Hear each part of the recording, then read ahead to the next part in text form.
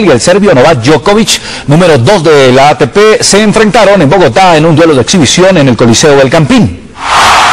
Nadal y Djokovic se volvieron a enfrentar en menos de 24 horas, pues ayer el serbio venció al español en la final del Wells. El presidente de Colombia, Juan Manuel Santos, fue el encargado de lanzar la moneda para determinar el saque inicial. El juego de hoy contó con la magia de los dos mejores del planeta. El duelo fue parejo, con jugadas de fantasía que hicieron vibrar el. Los dos fenómenos del deporte de blanco también hicieron su show. Cuando las jugadas polémicas aparecieron en el juego, juez para que lo favoreciera.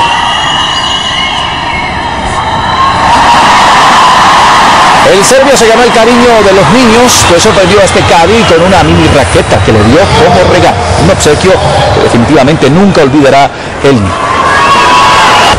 Y hasta la falta de luz hizo parte del repertorio en el Coliseo del Campín, pues dejaron a oscuras la cara. Djokovic no solo demostró su buen tenis, sino que calentó el ambiente de la fría capital como animador del certamen. El partido de revancha lo ganó Nadal en dos sets con registro de 7-6 y 6-3. Pero el resultado fue lo de menos, porque los dos tenistas dejaron una inmensa huella en Colombia con su espectáculo y su efectividad. Sin vosotros todo esto sería imposible, o sea que muchísimas gracias por, por todo el apoyo que nos habéis dado de que hemos llegado aquí a Colombia. Gracias y espero veros pronto otra vez. Gracias Colombia. Gracias a Nadal por haber venido a Colombia. Justamente en el Coliseo del Campín está Octavio Mora con todos los detalles de este espectacular juego. Octavio, buenas noches, adelante.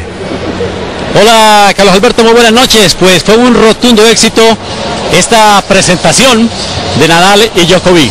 La raqueta número uno de Colombia es Santiago Giraldo. ¿Qué impresión se lleva usted de estos fenómenos del tenis? La verdad fascinado, creo que un evento espectacular, esto va a haber un antes y un después de este evento para el tenis, para el deporte, para mostrar esa cara amable y pujante de Colombia, traer a estos dos cracks en este momento es impresionante, entonces muy contento y muy orgulloso. Gracias Santiago, justamente hoy tuvimos la oportunidad de compartir con eh, Novak Djokovic y con Rafael Nadal una clínica que ofrecieron a niños y adultos y así lo apreciamos. Rafael Nadal y Novak Djokovic impresionaron por su sencillez y espontaneidad. Pelotearon con niños y adultos por cerca de una hora a pesar del cansancio de su viaje entre Estados Unidos y Bogotá. El serbio Novak Djokovic no solo se mueve con destreza en la cancha, hoy también mostró sus aptitudes bailando salsa.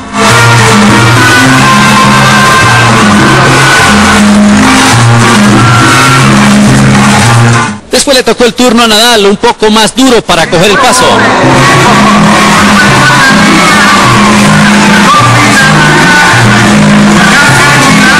Pero por su permanente disposición para atender a los aficionados y para firmar autógrafos, se ganó el cariño y la admiración del público, especialmente de los chicos. Pues la verdad conseguí el autógrafo y siento que es como una experiencia a nivel emocional y profesional para mi juego. Con Nadal. No, pues súper chévere, me gustó mucho.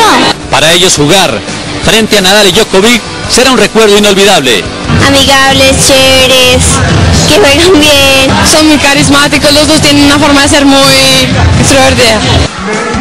Nadal y Djokovic se confesaron complacidos en Colombia y prometieron que muy pronto volverán. Bueno, este martes, muy temprano a las 6 de la mañana, tanto Novak Djokovic como Rafael Nadal se dirigen a Miami, donde comienzan otro torneo, porque es así, es vertiginosa su carrera. Con los mejores tenistas del mundo, Octavio Mora, Noticias Caracol.